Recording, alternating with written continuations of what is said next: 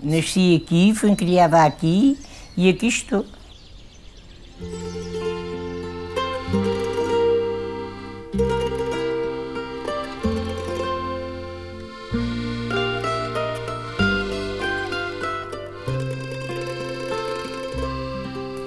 Eu chamo Alda da Conceição Luís, tenho 81 anos, nasci 27 de abril de 1940, comecei a trabalhar aos 11 anos, eh, fiz só a terceira classe, a quarta já fiz em adulta e aos 16 anos fui aprender a costura e até hoje foi o meu serviço era como havia costureiras e havia alfaiates. Iam para a casa dos clientes, faziam calças, faziam coletos. Uh, os casacos já era mais um, um, alfaiate que havia ali ao pé da igreja, esse é que já era o, do, o dos casacos. Agora eles iam e faziam e, e remendavam quando as calças estavam rotas, punham-lhe bocados nas calças, partes de, e bolsos novos. Era assim, íamos trabalhar para casa fazer assim essas coisas. Eu fazia blusas, saias, aventais.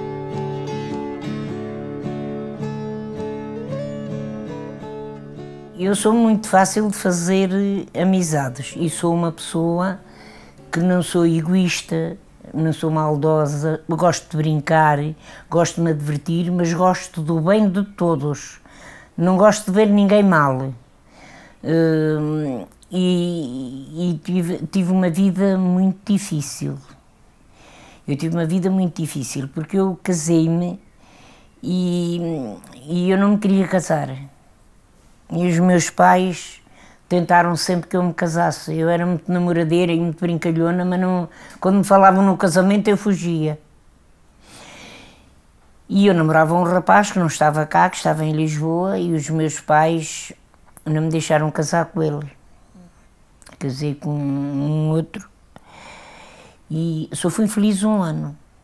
Tive uma vida muito difícil. Acho que tudo isto eu sou assim porque eu sofri muito, muito.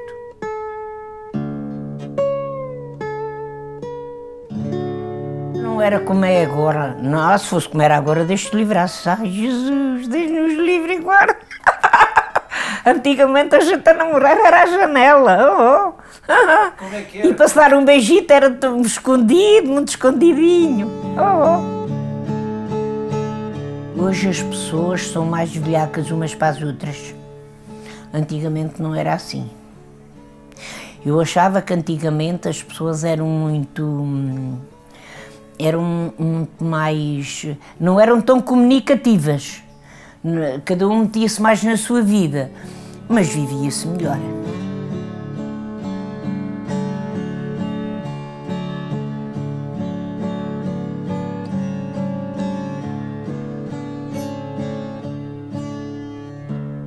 Bailaricos. Eu nos bailaricos tinha sempre os pares melhores que lá havia. Sempre. Eu, isso, isso, eu nunca dancei com quem, com quem quis dançar comigo. Eu dancei sempre com quem eu quis. Assim é que tem que ser. Não era com quem queria. Às vezes até me fazia os braços negros a puxar. Mas eu não. Eu aprendi a dançar com meu pai. Meu pai aqui, o meu pai era muito sassarico também, gostava de dançar, e ele ia sempre comigo para os bailes, sempre, nunca me deixava ir sozinha. Nunca me deixava ir sozinha. E quando via lá mais coisas, ai Jesus, era uma guerra. As raparigas e os rapazes, quando vão para todo lado, tudo me chama para eu ir. É os bombeiros para eu ir aos almoços, para eu ir ali com eles, é a filarmónica, é o grupo desportivo, isso vou sempre com o grupo desportivo, sempre desde sempre. Sou a fã número um e sou a sócia benemérita. Quando, antes desta, desta situação toda, estava lá sempre batida? Sempre, uh, sempre batida e às vezes ainda vou espreitar. Cá de cima do alto ainda vou ver. ainda consegue Ah, ainda consigo ver, eles lá de baixo fazem e eu estou E faço guerras quando, quando um dia bati num árvore. Então? Ah, arrubou quatro cantos à gente e avisei-o Primeira, segunda e terceira vez. À quarta vez, a minha neta era pequenita, peguei o colo, pego um sarrafo entre campo dentro, tumba, tumba. Ai, ali. Multado o camping, jogámos uma vez lá. Multado o campo em 20 contos. Lá e Alda, coitada, ao fim, quando havia os jogos. Ai, dei uma coisinha para a ajuda de uma multa que foi para o campo. Arranjei 40 contos. 20 para pagar a multa e 20 para o clube. É e cozia as calças, os calções, cozia as meias, cozia as camisolas, fazia tudo aos, aos, ao grupo desportivo.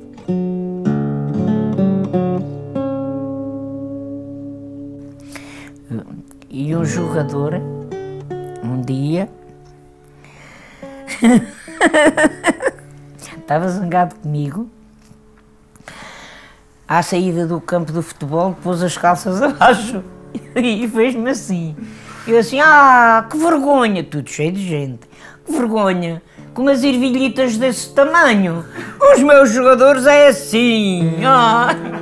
o gajo puxa as calças ao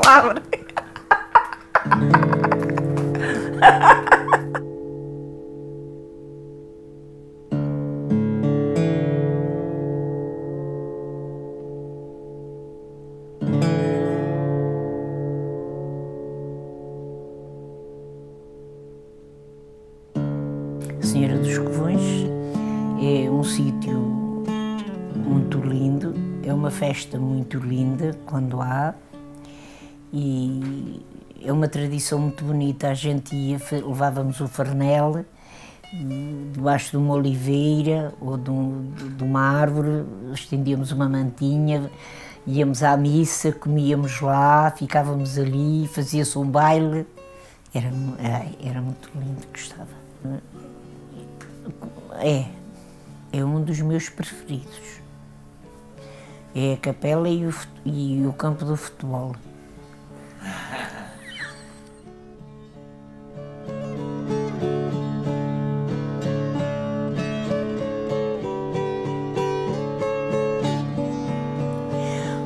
O meu, maior desejo que eu tinha na minha vida era de poder